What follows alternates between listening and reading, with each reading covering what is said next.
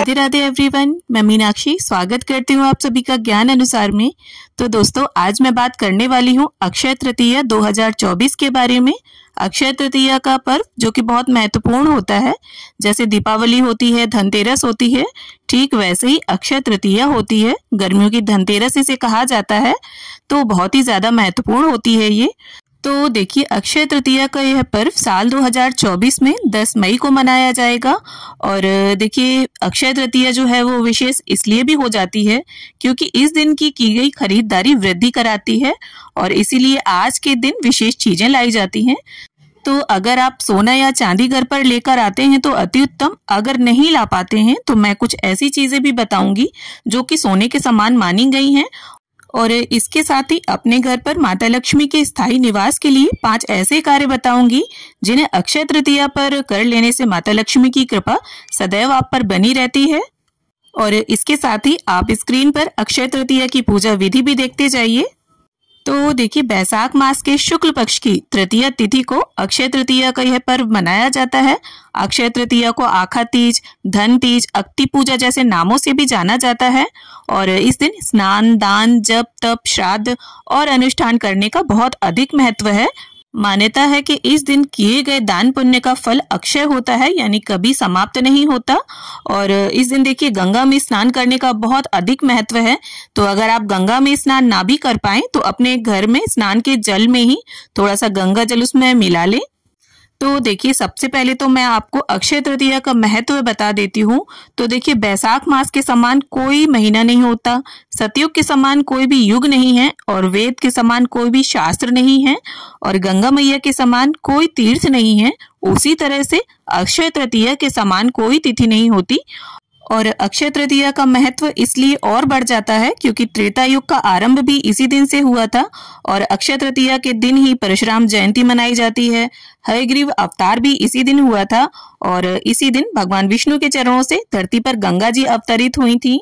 और इसी दिन चारों धामों में से एक बद्रीनाथ धाम के कपाट भी खुलते हैं और वृंदावन में भी बांके बिहारी लाल के चरणों के दर्शन वर्ष में एक बार अक्षय तृतीया की तिथि पर ही कराए जाते हैं।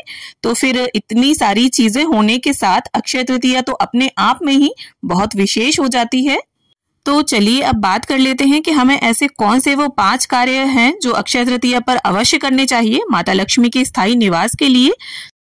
तो देखिए, सबसे पहली चीज़, अक्षय तृतीया की तिथि पर सोना चांदी खरीदने का विशेष महत्व है, क्योंकि ऐसा माना जाता है कि महँगी धातु खरीदने से घर में वृद्धि, बरकत होती है और फाइनेंशियली हम स्ट्रांग होते हैं और हम जो भी खरीदते हैं, उसमें वृद्धि होती है। इसीलिए सोना और चांदी खरीदा जाता है। तो अगर आप सोना या चांदी खरीदने में सक्षम ना हो, तब देखिए आप क्या करें? थोड़ी सी चने की दाल और जौ, ये जो दोनों अनाज हैं, ये सोने के समान माने गए हैं तो चाहे आप पाँच पाँच रुपए की दोनों चीज़ें लेकर घर में आए, उन्हें लेकर ज़रूर आए। अब देखिए, दूसरा कार्य आपको क्या करना है? आपको तीन पात्र लेकर आने हैं और तीनों पात्रों में आपको स्वास्तिक बना लेना है। और देखिए, तीनों पात्रों में अक्षय तृतीया के दिन, एक में दाल, एक में चावल, एक में आटा भरकर आपको रखना है। क्योंकि देखिए, हमारी किचन में माता अन्नपूर्णा का निवास होता है और जो हमारे घर की बरकत है, हमारे घर की वृद्धि है, वो रसोई घर से काफ़ी हद तक जुड़ी होती है। और देखिए, इन तीन पात्रों में जिसमें आप दाल, चावल रखेंगे, उन्हें देखिए समाप्त ना होने दे पूरे वर्ष भर, उसमें थोड़ा थोड़ा भरते रहें, बढ़ाते रहें। अब देखिए, तीसरा कार्य आपको क्या करना है? आपको माता लक्ष्मी के सामने एक अखंड दीपक प्रज्वलित करना है और अगर हो सके तो गाय के शुद्ध देसी घी का दीपक आप प्रज्वलित करें। पूरी रात्रि जलना चाहिए सुबह तक इस दीपक को और अगर ना हो तो नॉर्मल जो घी मिल जाए आपको, उससे आप ये दीपक प्रज्वलित कर सकते हैं और इतना भी ना हो तो आप तिल के तेल का भी दीपक जला सकते हैं। और चौथी चीज़, आपको अक्षय तृतीया की तिथि पर आंवले के वृक्ष के नीचे दीपदान अवश्य करना है। और दीपदान का भी मैं बता दूँ या तो आप ब्रह्म मुहूर्त में कीजिए या फिर शा, शाम के समय सूर्यास्त के बाद आप दीपदान कीजिए क्योंकि दीपदान का मतलब ही होता है अंधेरे में रोशनी फैलाना। और जब तक सूर्यदेव की किरणें पृथ्वी पर विद्यमान रहती हैं तब तक दीपदान का कोई मतलब नहीं बनता।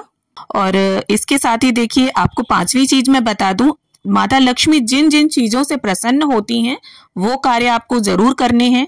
जैसे माता लक्ष्मी को साफ़ सफ़ाई अति प्रिय है, सजावट अति प्रिय है और खुशबू प्रिय है तो आप अपने घर में साफ़ सफ़ाई रखें, कोशिश करें थोड़ा सजा लें घर को। ज़्यादा ना हो तो मेन गेट के आगे आप रंगोली बना लें दोनों साइड में और ये ना कर सके तो सिर्फ़ स्वास्थ्य की बना लें और इसके साथ ही अपने घर को एकदम महकता हुआ रखें। इस तरह आप ये कार्य ज़रूर करें।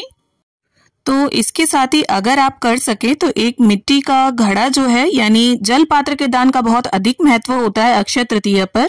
तो आप कम से कम इतने घड़े का दान करें, इतने बड़े घड़े का जो किसी के प्रयोग में आए।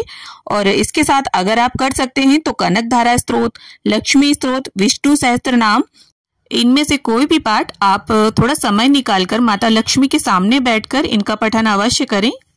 तो इस तरह से मैंने कुल छह से सात कार्य आपको बताए हैं। इनमें से जो भी आपको पाँच कार्य ठीक लगे, वो आप अक्षय तृतीया पर ज़रूर करें।